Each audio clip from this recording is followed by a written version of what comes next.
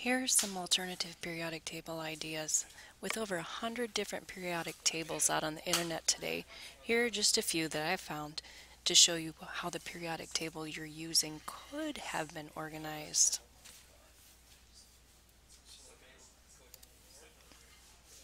Mendeleev um, originally sorted all the known elements into categories and groups based on physical and chemical properties. And this is what he ended up with originally. Notice there are some holes in there.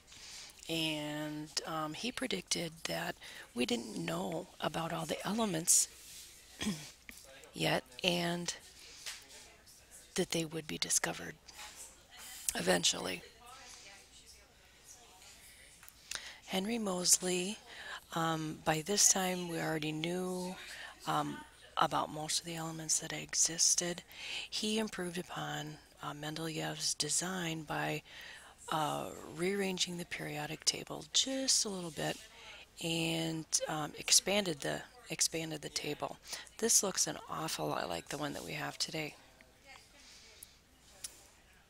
Here are some additional proposed models of the periodic table because of the physical and chemical properties of the elements in each family give us a rather uneven or non-symmetrical version of a periodic table. A lot of people have been assuming that there's a better way to group and arrange them. Here's one that's in a circle. Notice hy uh, hydrogen and helium start in the middle and each period radiates out from that.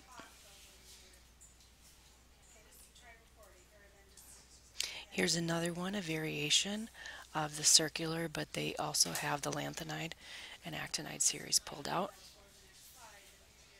Again, this one starts in the center. Um, Einstein would have liked this one, I think. Um, here's a periodic table that is modeled after a um, galaxy.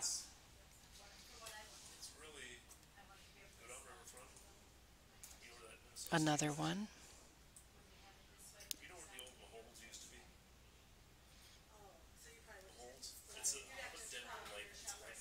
And yet another one.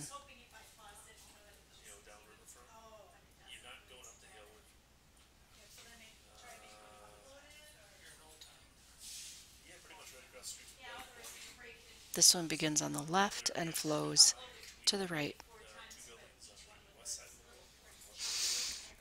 And here's one that have the lanthanides and actinides pulled out separately. All the transitions or short stack elements are on the right here. And it also starts in the center. And there are also some proposed three-dimensional models